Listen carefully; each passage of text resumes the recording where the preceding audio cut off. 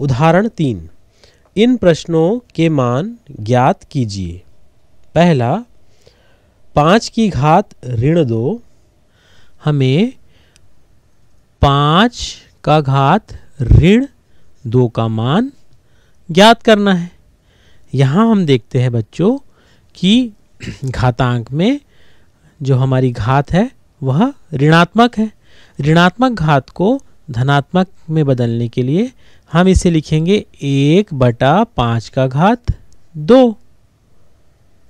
यहाँ पे चूँकि हम जानते हैं कि घातांक में एक का घात ऋण एम बराबर एक बटा एक का घात एम होता है। बराबर एक बटा पाँच का घात दो को हम पाँच गुणित पाँच लिख सकते हैं। बराबर एक बटा पाँच पंचे पच्चीस। तो हमें एक बटा पच्चीस प्राप्त हुआ। यह उदाहरण का हल होगा। दूसरा, एक बटा दो की घात ऋण पाँच। हमें एक बटा दो का घात ऋण पाँच का मान ज्ञात करना है। तो इसे हम यहाँ पे दो का घात, ऋण पाँच ऋणात्मक है। इसे धनात्मक में बदलने के लिए हम इसे लिखेंगे दो का घात पाँच। तो ये धनात्मक हो गया। यहाँ पे हमने घातांक का नियम लगाया है। चूँकि एक बटा एक घात ऋण एम को हम लिखते हैं एक घात एम बराबर दो का घात पाँच को कहीं हम इसे गुणा में लिखेंगे तो दो को हमें पाँच बार गुणा करना होगा। दो गुणित दो गुणित दो गुणित दो गुणित, दो। बराबर दो दूनी चार चार दूनी आठ आठ दूनी सोलह सोलह दूनी बत्तीस।